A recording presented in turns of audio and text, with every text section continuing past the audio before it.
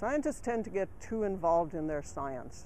Politicians and policymakers, decision makers, they want to know what is the relevance of the science? Why do I need to know this? What's the point? What decision can I, as a politician or a policymaker, make based on this information? And scientists tend to think that once they've done the science, that's enough. They don't need to explain why it's relevant or why somebody needs to know this.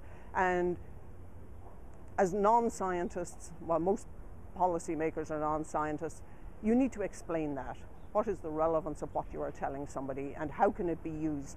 And the other thing that people can sometimes do wrong is they get too convoluted. Keep your your message simple. Make a point. You can always come back with more information afterwards if it's needed. But try and keep a, a simple message. This is what's important this is what I've done, this is what I think you need to do about it. That really makes it helpful for whoever you're speaking with.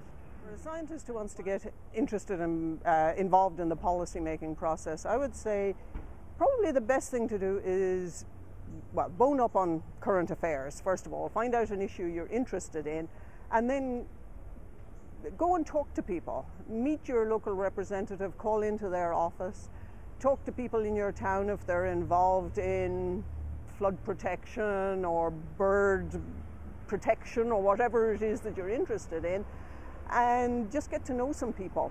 And it's amazing how doors open. If you know what you're talking about, uh, people really need expertise, and if you can offer it to them, they'll be delighted.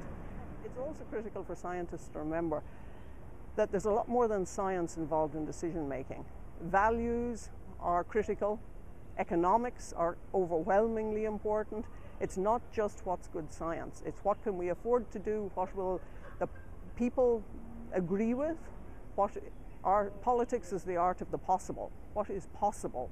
Science can define the boundaries of what's possible, but the choice within that is still really big, and there are a lot of other issues other than science that are considered in, in decision making.